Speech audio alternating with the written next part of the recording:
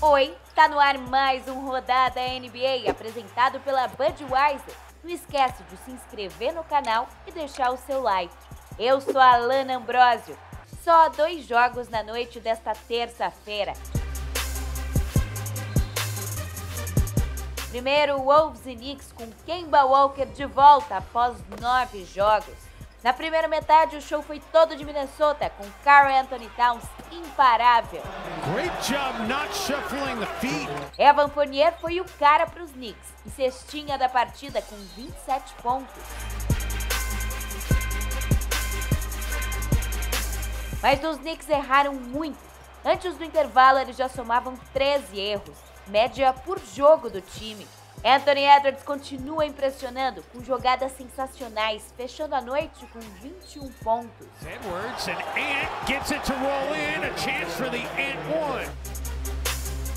Aí na volta do vestiário, fogo no parquinho. Os Knicks vieram com tudo, comandados pelo francês. Ele acertou 5 bolas de 3. D'Angelo Russell com 17 pontos no jogo, empatou tudo na reta final. A disputa foi ponto a ponto até o fim. Kemba Walker, com um ótimo segundo tempo, colocou os Knicks na frente. Mas essa jogadaça de Carl Anthony Towns definiu.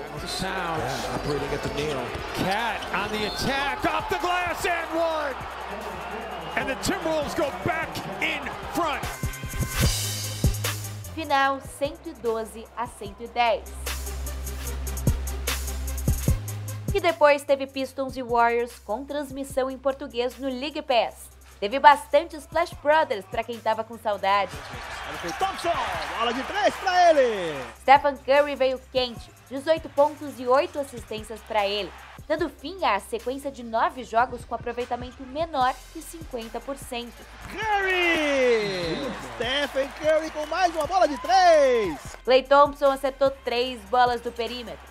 Com muita defesa e movimento de bola, os Warriors deram conta do recado cedo. Contra-ataque.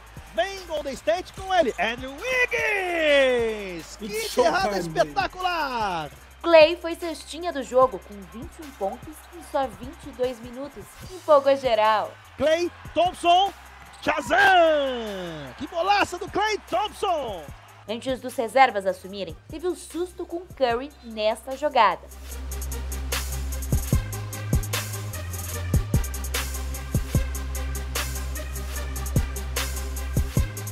Final 102 a 86 para os Warriors, ainda sem Draymond Green. No leste, o Chicago Bulls segue líder, mesmo com a sequência de derrotas. O Miami Heat é o segundo colocado, com o Brooklyn Nets logo atrás.